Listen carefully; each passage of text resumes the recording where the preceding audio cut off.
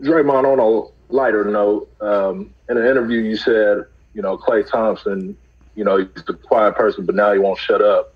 Um, cameras caught Steph, you know, yelling at the team, trying to get everybody amped up.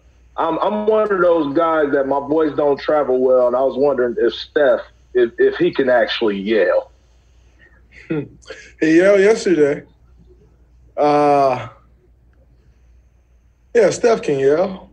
He don't yell much, but he can yell. He's yelled at me before, so I think he can yell. But I don't think I'm. I don't think I'm really a hard target to yell at.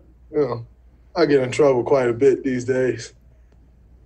Some most of the time for things that I shouldn't get in trouble for too. But uh, yeah, I don't think I'm a that that hard or tough of a target to yell at. But it's all good. I, I don't mind people yelling at me. And Steph, yell at you? Steph has yelled at me before. Well, what about?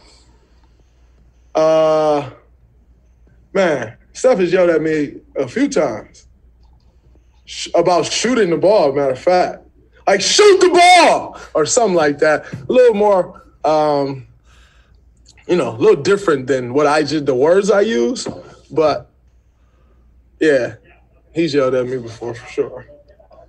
Where do you see him at mentally about this team right now? Remember, I got into it with Steve. You were still in OKC, I think. I was covering the Thunder. So actually, he, he yelled at me right then too.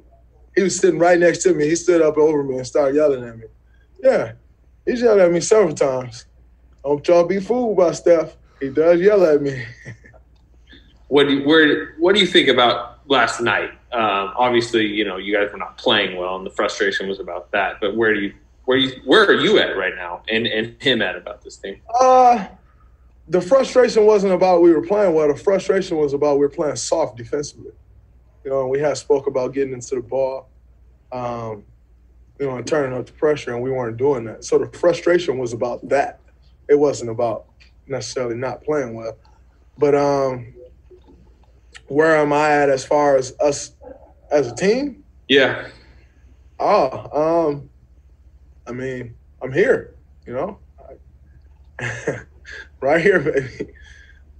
I'm here. Like no, but I mean, as a team, I think you know, I think we're we're kind of in. We've lost what four in a row. Um, so you're never in a great space when you lose four in a row. But I think all things being, you know, all things considered, losing four in a row, I think I'm in a pretty good space. This guy Raymond Ridder email blows up like all day. This man got ten emails since I've been sitting here. It's insane.